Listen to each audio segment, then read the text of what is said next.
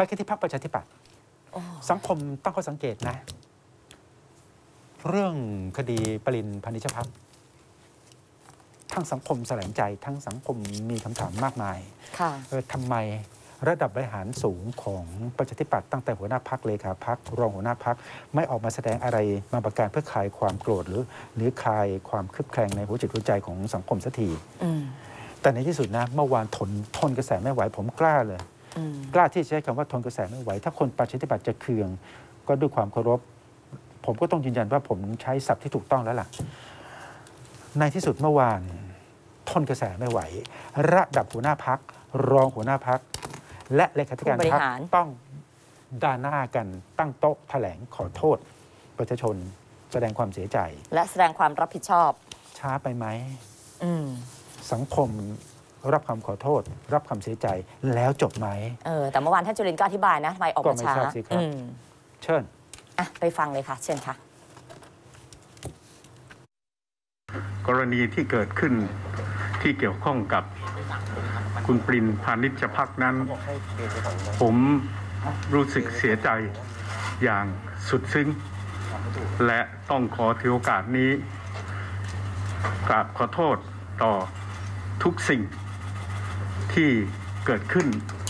ในกรณีที่เกี่ยวข้องมาถึงบุคลากรของพรรคประชาธิปัตย์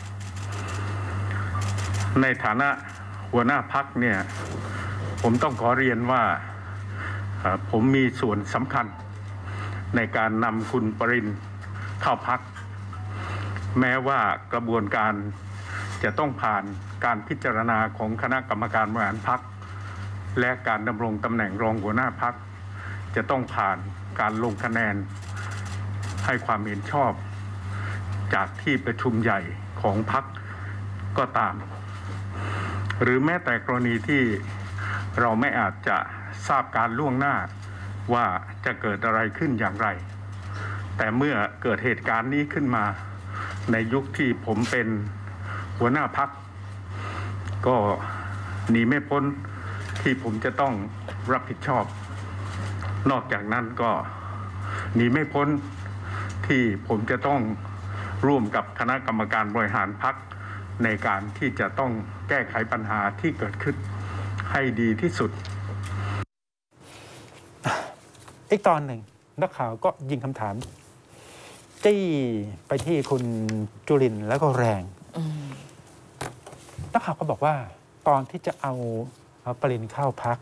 ตอนที่จะเชิดชูปรินขึ้นมาเป็นหัวหน้าทีมเศรษฐกิจประชาธิปัตย์ตอนที่จะสร้างแรงกดดันสร้างสถานการณ์เพื่อให้คุณกรต้องออกไปอะอะไรประมาณนั้นน่ะนะเขาบอกมีคนเตือนมีคนเตือนไม่ใช่เหรอเรื่องประวัติของคุณปรินเด็กนักเรียนอังกฤษสมัยเมื่อ 10-20 ปีที่แล้วก็รู้กันดี เคยมีประวัติอะไรอย่างไร กลับมาถึงเมืองไทยก็ยังมีประวัติทำนองนี้อยู่เป็นระยะระยะ คนในฟังแวดวงการเงินแวดวงตลาดทุนสิทธิ์เก่า นักเรียนอังกฤษเขาก็รู้ๆกัน ก็เตือนๆกันนะระวังนะ เอาคนคนนี้เข้ามาแล้วก็โชดขึ้นไปอย่างเนี้ยอืมไปแทนคุณกรณ์อย่างเนี้ยเดี๋ยวเถอะวันหนึ่งจะมีปัญหา เออ นักข่าวถามคำถามเตือนี้นไปแล้วไม่ใช่เหรอ ตอบอย่างไร อยากรู้ใช่ไหมคะ เชิญค่ะ ในในตัวเรื่องของพฤติกรรมของคุณปรินเนี่ยค่ะ คืออย่างที่หลายๆคนเขาก็วิพากษ์วิจารณ์มาว่าเอ่อ พฤติกรรมของคุณปินเนี่ยเรื่องของการเรื่องเช้าเรื่องชู้สาวเรื่องหลอกลวงอะไรอย่างเงี้ยคือหลายคนก็บอกว่าเขาก็รู้แล้วว่าพฤติกรรมคุณปินเป็นแบบนี้แล้วก็มีการเตือนคุณปินแล้ว เราจะชี้แจงได้ไหมคะว่า มันเป็นข้อเท็จจริงอะไรยังไงไหมคะผมไม่ขอย้อนไปพูดในเรื่องที่จะไปพาดพิงถึงใครก็ตามนะครับ แต่สิ่งหนึ่งที่ผมได้เรียนก็คืออผมมีส่วนสำคัญในการ พาคุณปรินเข้ามาในพักอย่างที่ผมเรียนแล้วนะครับ หมายถึงว่าเรารู้อยู่แล้วหรือว่ามีคนทักท้วงแล้วใช่ไหมคะคุณปรินเอ่อคะผมไม่ขอย้อนไปได้ไหมครับ เพราะว่าผมก็ได้เรียนแล้วว่า ผมเป็นคนพาคุณปรินเข้ามาในพักแม้ต้องผ่านกระบวนการลงมติให้ความเห็นชอบไม่เห็นชอบก็ตาม สุดท้ายก็หนีไม่พ้นครับ ที่ผมก็ต้องรับผิดชอบอย่างที่ผมเรียนแล้ว แล้วก็ผมก็ได้ดำเนินการอย่างที่เรียนนะครับว่าเอ่อต่อไปเนี่ยพักก็ต้อง เข้มงวดขึ้นในเรื่องการตรวจสอบคุณสมบัตินอกเหนือจาก 21 ข้อที่เราได้กำหนดไว้มากแล้วนะครับ แต่ก็ต้องเพิ่มข้ออื่นๆด้วย ซึ่งอันนี้ดรรัชดาจะช่วยเข้าไปดูนะครับ เพื่อให้สังคมเนี่ยคลายความ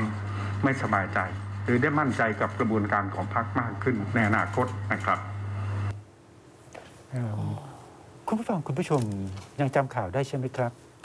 หลังจากที่เกิดเรื่องคุณปริน มีคนถามหาความรับผิดชอบของกรรมการบริหาร พูดกันถึงเรื่องสอบจริยธรรมสอบอะอะไรต่อไม่อะไรกรรมการบริหาร ปรากฏว่าในรายกลุ่มของประชาธิปัตย์องครักษ์พิทักษ์คุณจุลินทร์คุณติ่งมาริกาบุญมีตระกูลมหาสุข ออกมาโพสต์บลัฟเพื่อนร่วมพักเดียวกันในหลายกลุ่มเลยพูอดอกมาถึงแฉเรื่องกิ๊กพูดถึงเรื่องชู้อืมผัวชาวบ้านพูดถึงเรื่องผัวชาวบ้านอืมแล้วก็บอกว่า เอา้า ถ้าจะสอบจริยธรรมกรรมการบริหารประชาธิปัตย์เอ่อทั้งพักว่ากันด้วยเรื่องปรินใช่ไหมสอบมันทั้งหมดเลย สอบเรื่องชู้เรื่องกิ๊กของใครผัวของใครเอาให้หมดนะ ดีค่ะ สอบไปเลยค่ะ สังคมก็ตะลึงตึงเออๆเฮ้ยไอ้พักนี้มีปัญหามากกว่าเรื่องปรินเหรอเออเพราะสังคมจากไม่รู้เลยรู้มีปัญหาเรื่องผัวชาวบ้านมีปัญหาเรื่องกิ๊กเหรอเออจากไม่รู้เลยรู้เลยไงว่าอ๋อพักนี้เขามีปัญหาแบบนี้มักันบลัฟกันเองนี่หว่า องครักษ์พิทักษ์จุลินทร์ก็บลัฟคนที่จะสอบคณะกรรมการบริหาร เอ้าอืม ไปกันใหญ่ ใช่ค่ะ เปิดสปรุมปนะใหม่ เปิดเมื่อวานปมใหม่ สรุปนะเมื่อวานคุณจุลินทร์ก็ตอนหนึ่งนะก็แถลงว่า หลังจากนี้จะตั้งคณะกรรมการขึ้นมาสองชุดค่ะ ชุดหนึ่งจะทำหน้าที่กลันกรองคุณสมบัติผู้อืที่มจะเข้ามาทำงานบริหารภายในพรรคประชาธิปัตย์ค่ะให้มันถี่ถ้วนขึ้นอืมไม่ให้ประวัติศาสตร์ซ้ำรอยเหมือนกรณีของปรินอืมอีกหนึ่งคณะกรรมการตั้งขึ้นมาเพื่อทำหน้าที่ในการตรวจสอบเรื่องลายลายหลุดหลุด ข้อลายหลุดมูลที่ชะกันในลายร้อนชา มันหลุดออกไปถึงสื่อได้อย่างไร สื่อรู้โลกก็รู้อะเช่นอืม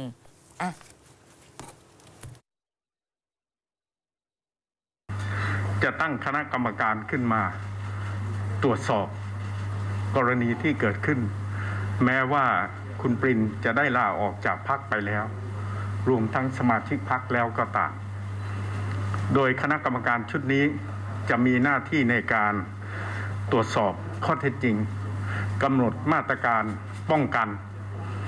มาตรการในการแก้ไขปัญหา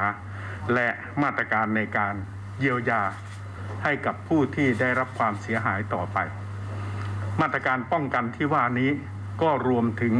มาตรการในการที่จะตรวจสอบคุณสมคุณสมบัติของผู้ที่จะ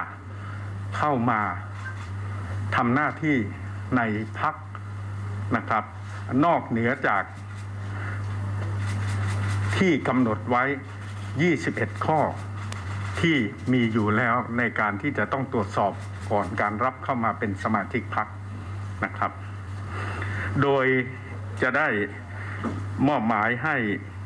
ดรรัชดาธนาดิเรก ได้ทำหน้าที่เป็นประธานคณะทำงานในเรื่องนี้ และในประการที่สองก็คือว่าพักก็จะตั้งคณะกรรมการขึ้นมาตรวจสอบกรณีการโพสต์ในไลน์ของพัก โดย จะได้มอบให้รองหัวหน้าพักภาคเหนือ คือคุณนราพัฒน์แก้วทองได้เป็นผู้ดำเนินการในเรื่องนี้ต่อไป ตั้งคณะกรรมการสองสรุชุปดนะตรวจสอบ จะสอบเอ่อคุณติ่งมาริกาขณะเดียวกันก็จะสอบคนที่เอาเอาไอ้ข้อแชคทวามเนี่ยมาปล่อยข้างนอกด้วยอืมคำถามคือใครทำทำลายหลุดทำแชทหลุดอืมแต่คนที่ไปแชทข้อความที่ทำให้ร้อนฉายกันทั้งพักรู้ละใครอืมสอบติ่งมาริกาไม่ง่ายนะอืม